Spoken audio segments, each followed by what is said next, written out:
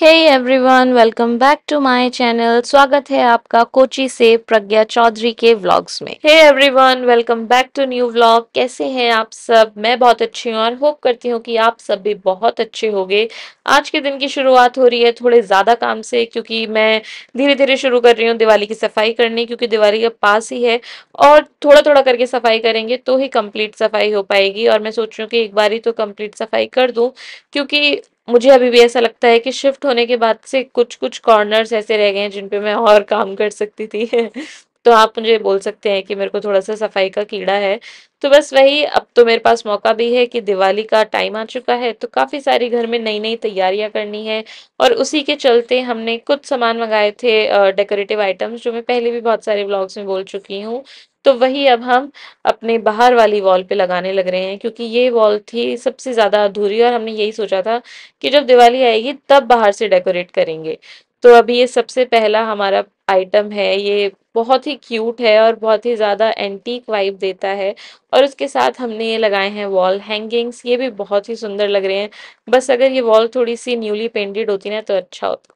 घर की डस्टिंग और सारा डेकोरेशन वाला काम करके मैं आ गई हूँ नहा के और फटाफट से अपना स्किन रूटीन करूँगी। और ये जो अभी आप बॉटल देख रहे हो ना मेरा लास्ट वाला सीरम है द ऑर्डिनरी ऑर्डिनरी वाला, जो मुझे लगा था कि ख़त्म हो गया, पर फिर आज मैं बॉटल डिस्कार्ड करने चली तो मैंने देखा, नहीं, अभी भी there were few drops left मैंने तो छोड़े नहीं, मैंने फटाफट से उसको पोर किया। और जितना भी था वो पूरा मैंने अपने फेस पे लगा लिया और मुझे सच में गाइस ये सीरम बहुत अच्छा लगा ये जो अभी मैं पिलग्रम वाला यूज़ कर रही हूँ, उससे बहुत बेटर है। बस हो चुका है मेरा अब स्किन रूटीन अब हम जाएँगे बाहर, लेकिन उससे पहले हमें बेडशीट डालनी है और मुझे एक वीडियो भी शूट करनी है तो वो भी मैं फटाफट से कर लूँगी। फिर जैसे ही शाम होने वाली होगी, उससे पहले पहले हम बाहर चले जाएँगे। और सेटाफिल की अब ये वाली ट्यूब भी बिल्कुल ख़त्म ही हो चुकी है। पर मैं इसको दोबारा परचेज नहीं करूँगी, क्योंकि इसकी स्मेल ना मुझे बिल्कुल पसंद नहीं आई। बहुत मेडिसिनल है इसकी स्मेल। या तो स्मेल बिल्कुल ना हो, लेकिन अगर है तो कम से कम मेडिसिन टाइप तो नहीं होनी चाहिए। तो it was a big no for me smell के अगर मैं उससे बताऊँ आपको तो अदरवाइज़ प्रोडक्ट ही अच्छा है। अच्छा काम करता है ड्राई स्किन के लिए। और मैंने आज सफ़ाई की ना तो एक छोटा सा मतलब मुझे स्किन इरिटेशन भी हो गया तो वो मैं आपको दिखा रही थी। बस ये सारा काम हो चुका है, अब मैं बेडशीट और चेंज कर देती हूँ, क्योंकि आज सारे जाले भी झाड़े थे तो बेडशीट काफ़ी गंदी हो गई थी और यहाँ पे रमन आ गया है मेरी मदद करने के लिए। क्योंकि आपको पता ही है कि बेड है कॉर्नर में और बेडशीट दबानी होती है ना तो कम से कम दो लोगों की तो ज़रूरत पड़ती है। मतलब कम से कम नहीं, दो लोग का तो चाहिए ही। और ये एक प्रोडक्ट था जो रह गया था मतलब अभी तो सारे ही प्रोडक्ट बचे हैं, आपको दिखाने जितने भी मैंने डेकोरेटिव आइटम्स मंगाए हैं, पर ये जो मैंने आज लगाया फिक्स किया है, वो रह गया था दिखाना। ये मुझे सबसे फेवरेट लगा है और रमन को भी, क्योंकि इससे जो कॉर्नर की वाइब है, वो पूरी अलग हो गई थी। और अब आप देख रहे हैं, थोड़े से ग्लिम्स मेरी जो रील मैं शूट करके डालने वाली थी शॉर्ट्स भी डालना चाह रही थी, पर मैंने जैसे ही ये शॉर्ट डाली तो कॉपीराइट आ गया, पता नहीं कैसे। तो मैंने यहाँ से डिलीट कर दी। अब से सिर्फ़ ये रील्स पे मिलेगी आपको। अगर आप देखना चाहते हैं तो मेरा इंस्टाग्राम भी फॉलो कर सकते और ये वाला कॉर्नर गाइस सीरियसली मुझे सबसे ज़्यादा सुंदर लग रहा है। और पूरे घर का जो सबसे हम बोलेंगे ना आई कैची कॉर्नर वो यही है। गाइस शाम के हो चुके हैं करीब सिक्स और आज फिर से हम जा रहे हैं बाहर चाय पीने के लिए। क्योंकि यहाँ पे कोच में ऐसे बहुत सारे छोटे छोटे छोटे पे बैठना, चाय पीना और बाहर थोड़ा टाइम स्पेंड करना मस्त लगता है। अभी आपसे नीचे जाके मिलती हूँ, नहीं तो लिफ्ट की टुट टुट चलती रहेगी। तो गाइस चाय की टपरी से पहले हम जा रहे हैं टेलर के पास। छोटा सा काम है।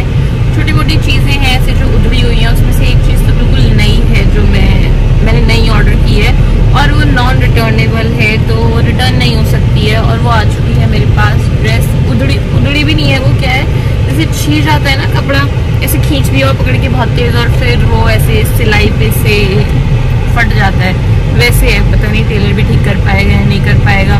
और रमन के ट्राउज़र हैं तो पहले एक दो काम करा लेते हैं फिर हम जाएँगे चाय पीने और मौसम दिखाते हैं आपको सनसेट के टाइम पे कितना सुंदर है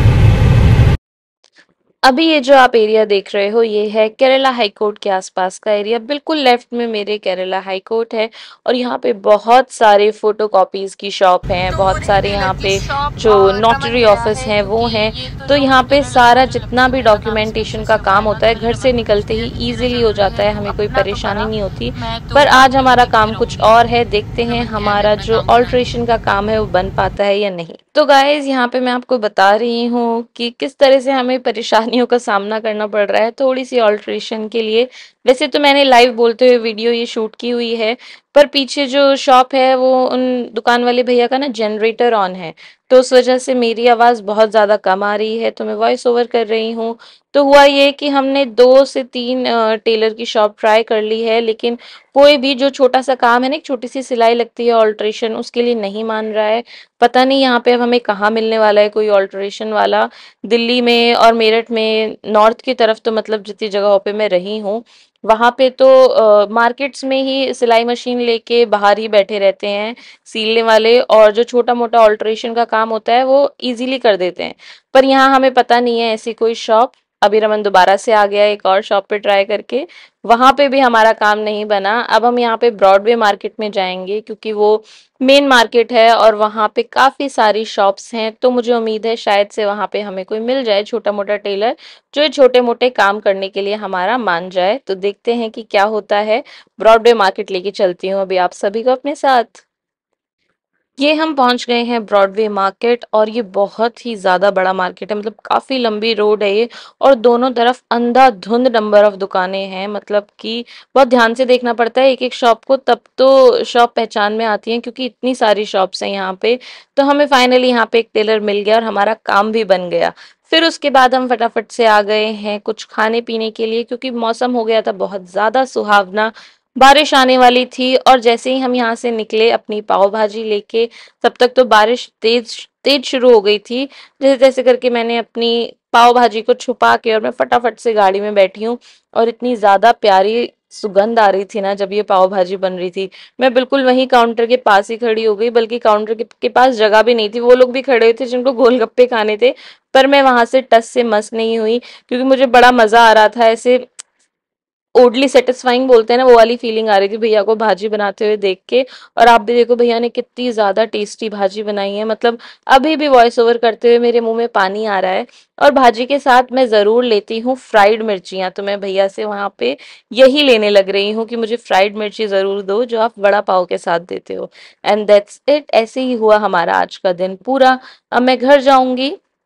थोड़ी देर वीडियो एडिटिंग करूँगी, फिर उसके बाद टीवी देखूँगी और कल आप लोगों से ज़रूर आके मिलूँगी।